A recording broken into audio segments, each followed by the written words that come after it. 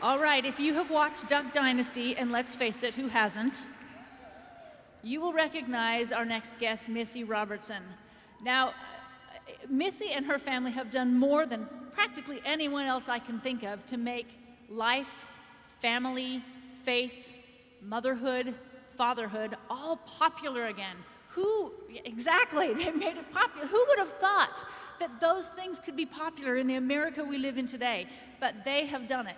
What you may not know is that Missy herself has already been uniting women. She has a website, a jewelry website, Laminin.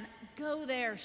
It's, it's not just that the jewelry is beautiful, the stories of what she's doing to unite women and bring them together to serve each other, that's what is truly inspiring. Welcome, Missy Robertson.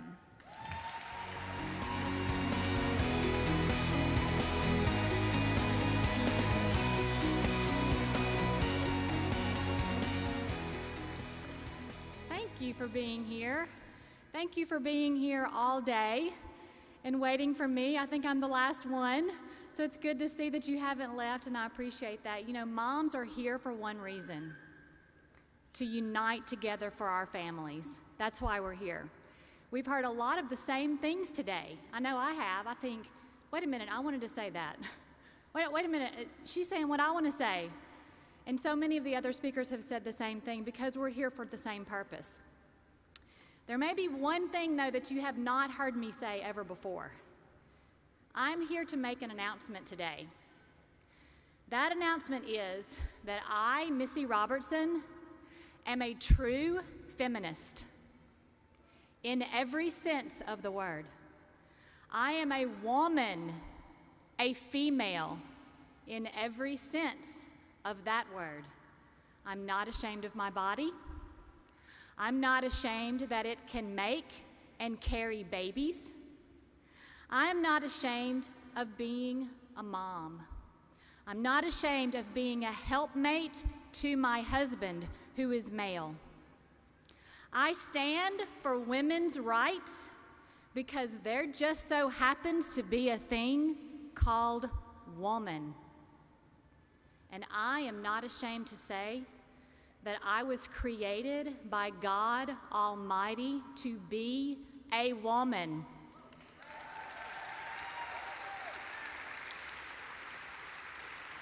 When my family's reality television show became successful, people started asking me all kinds of questions everywhere I went. The number one question during that first year was How did you get your children to be so respectful? It stunned me because my initial response was They have no choice. If they are disrespectful, there are consequences. Respect for others is learned at an early age. If it isn't, it is much harder to come by as an adult. My parents used to tell me the teacher is always right. Have you heard that before? Even though they knew that teachers do sometimes make mistakes, my parents' point was this Your teacher is the boss at school, worthy of your respect. You may not like him or her, but you will respect them. If I got in trouble at school, I got in trouble at home. The same exact thing went with the principal, my coach, the preacher, the police officer when I was pulled over for my first ticket. Respect. Hear me when I say there are exceptions. It is never right for an adult in any situation to abuse or harm a child, ever. Respect for the position of authority is what I'm addressing here. Respect for the position of authority is what is failing in our country today. Where there is no respect for authority, there is no respect for the rule of law. When the culture demands to turn against God's wisdom, we teach our children to respect the law, but trust God as the ultimate authority and establisher of governments. Romans 13:1 says, "The authorities that exist have been established by God." The reality is that our great nation was founded on Christian principles. George Washington said, It is impossible to rightly govern a nation without God and the Bible. Our Constitution ensures that when a person is accused of a crime, he or she is innocent until proven guilty.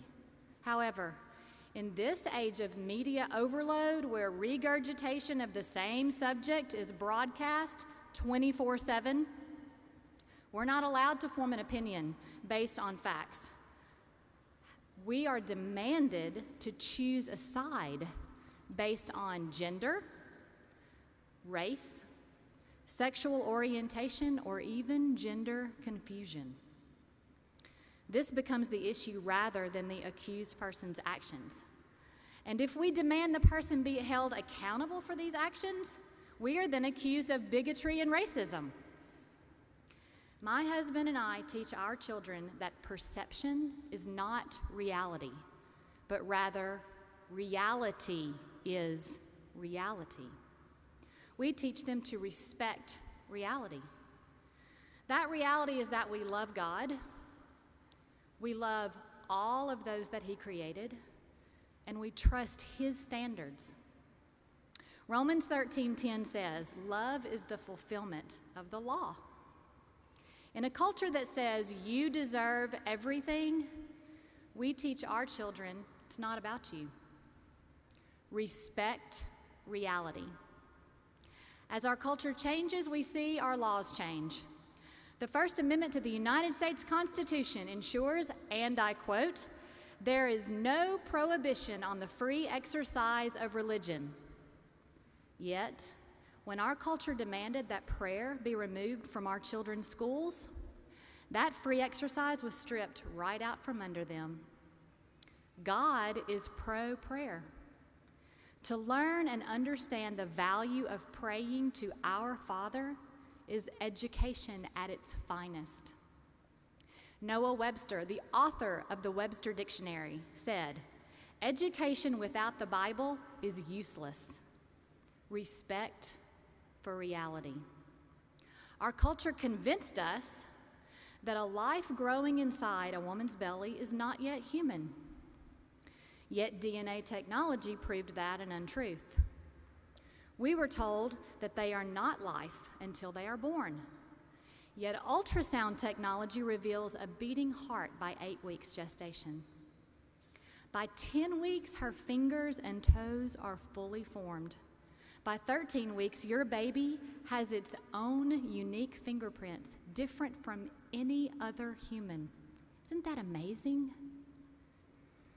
These are just a few initial milestones that a mother celebrates as she awaits the arrival of her wanted child. But what about the unwanted child? That baby still achieves the exact same milestones. The only difference in the two babies is that one is wanted and the other is not. In a culture that discards life for the sake of convenience, we tell our children that life is infinitely precious. For the reality is that we are all made in the image of the Almighty God.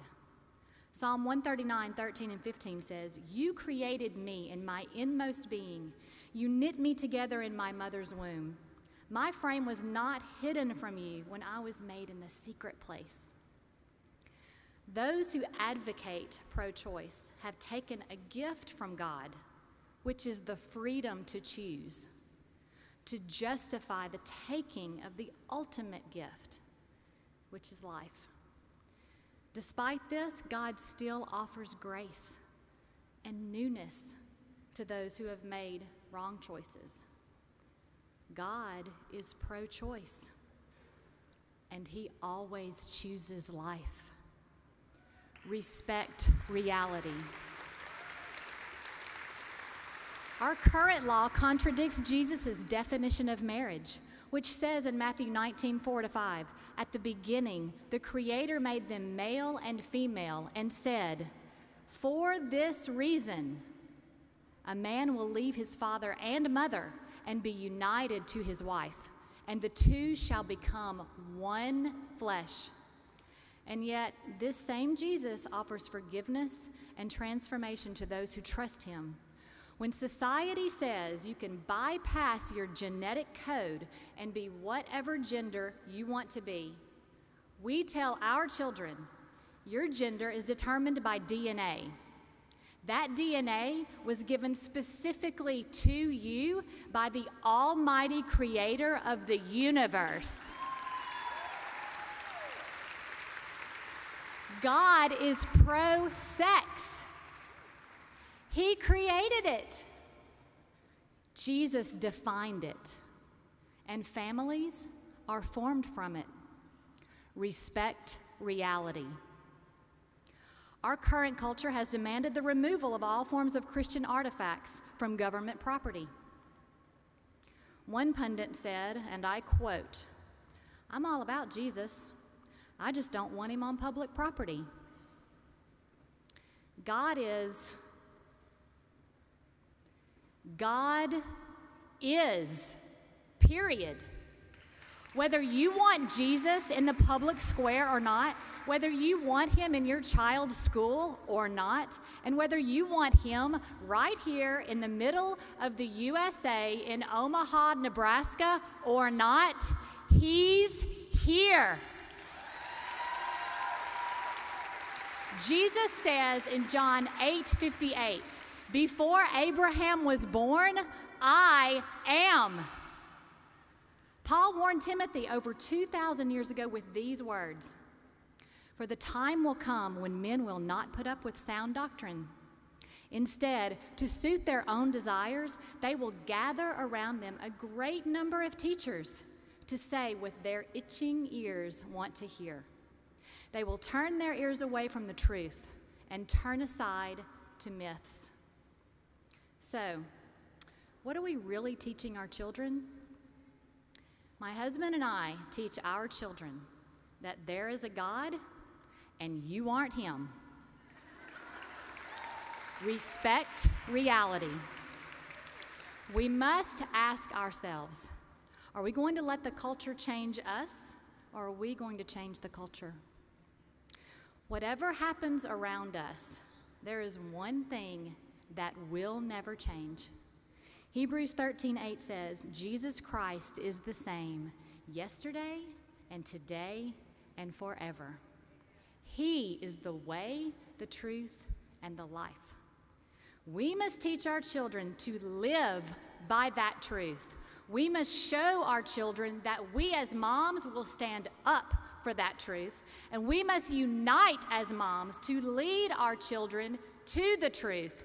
That truth is Jesus Christ.